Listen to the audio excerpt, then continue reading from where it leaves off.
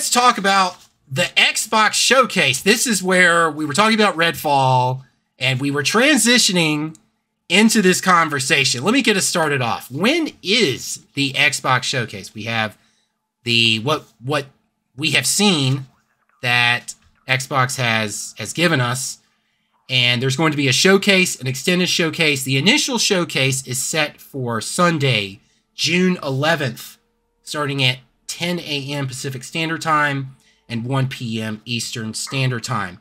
The extended showcase is set for Tuesday, June 13th.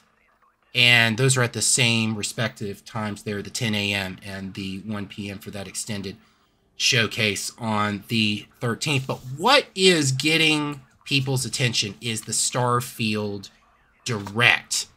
And there isn't a definitive time as to when it's going to be, the specific time. We just know it's going to follow the showcase.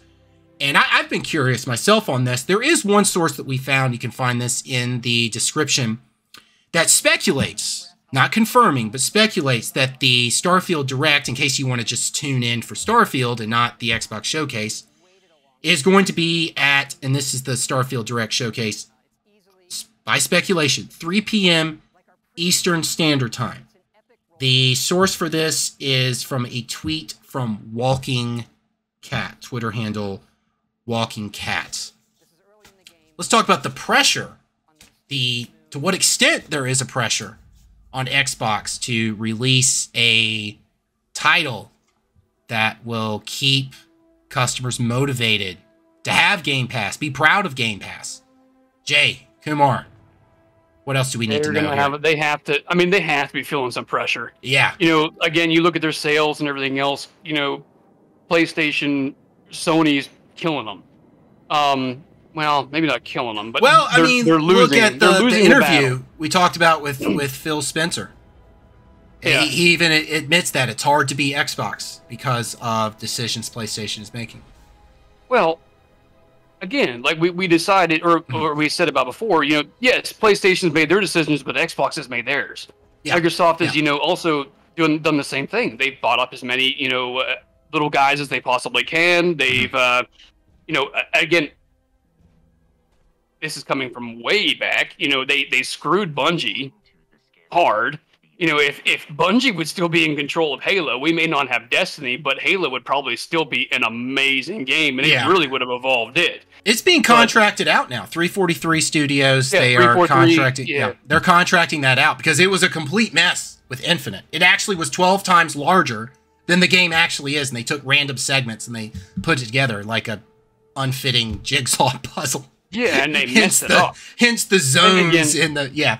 Anyways, Yeah, anyway. so so Xbox hasn't Xbox any any of Xbox studios hasn't come out with anything that gets their audience really playing. They're not listening to the people that are playing these games, what they actually want. Um, three four three is a big studio. They should be able to. they should have never messed up Infinite the way they did, but.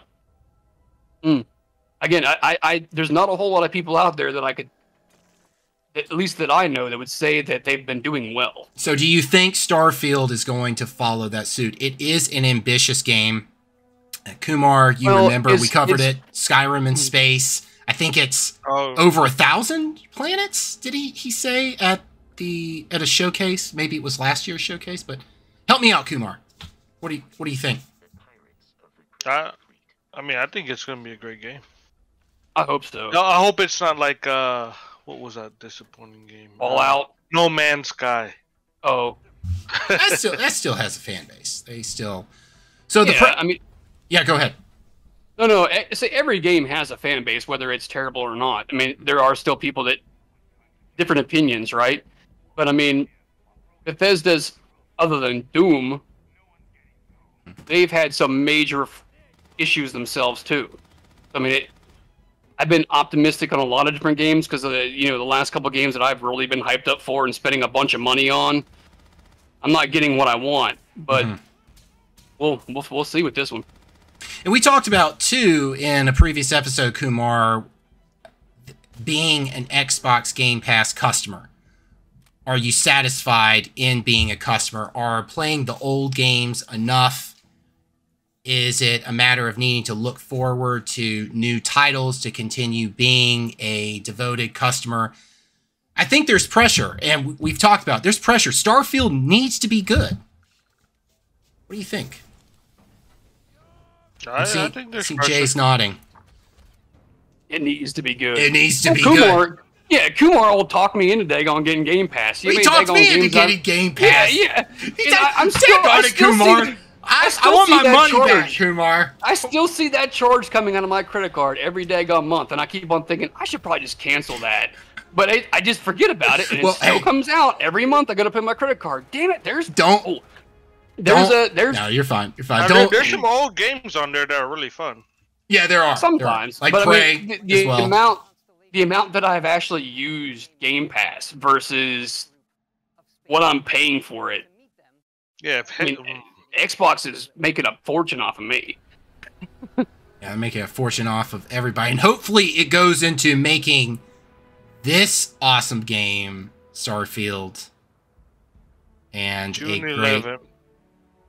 So let's talk about Starfield for for a little bit. It's set to release September 6th, 2023 as it stands now for episode episode 5 of the show. It's going to be on Xbox Game Pass at launch.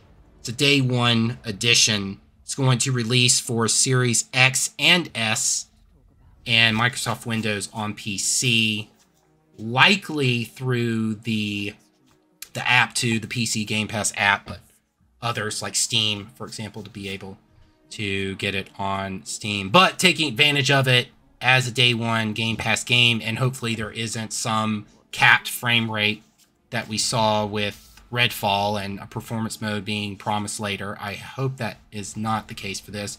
I would love for it to be able to be played in the cloud service as well. That would be really awesome.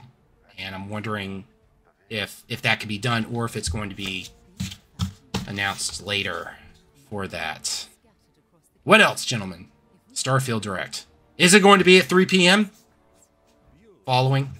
You think it's going to take trying that to think long? of what what this game really reminds me of. Well, it has has some hints of, of Fallout as well. I would say more Yeah, I see Fallout that. 4 than 76. Have that. Yeah, I, I think that energy is there, and it's considered Skyrim in space. What do you think, Kumar? Is it is it Skyrim? Do you feel Oh, uh, Skyrim in looking at this?